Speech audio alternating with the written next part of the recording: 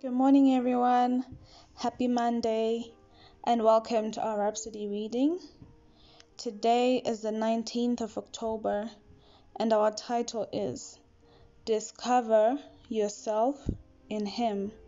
Our shouting scripture is from Romans 10, verse 20, and it reads But Esaias is very bold, and saith, I was found of them that sought me not.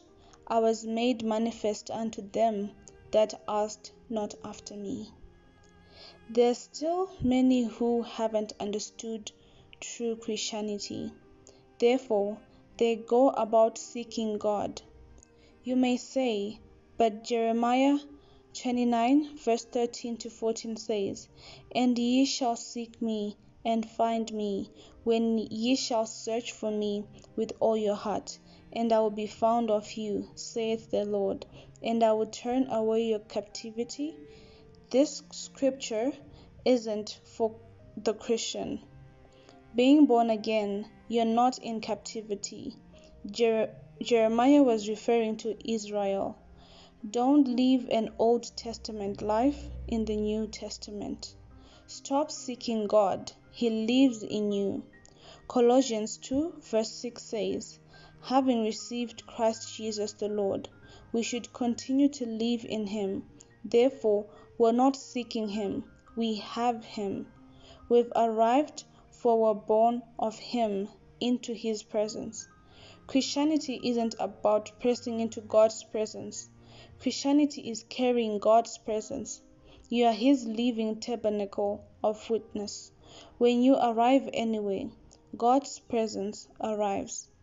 You are the presence, hallelujah. Paul said, We make manifest the savour of his knowledge in every place.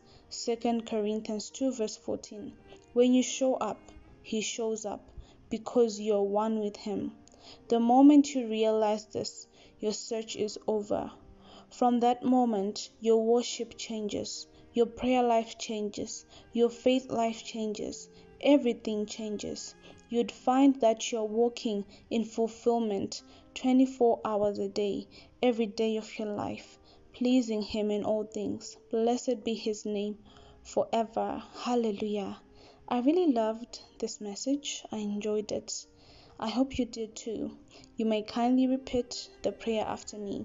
Say, Precious Father, I thank you for everything I'd ever need in life is in Christ, and Christ is in me. And to have Christ is to have everything. I thank you for the privilege to be a member of His body, of His flesh, and of His bones. Christ in me is my assurance of a life of continuous victory and unending success. Hallelujah.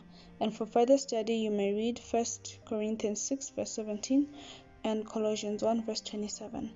Have a wonderful day and see you again tomorrow with another Rhapsody reading. God bless you.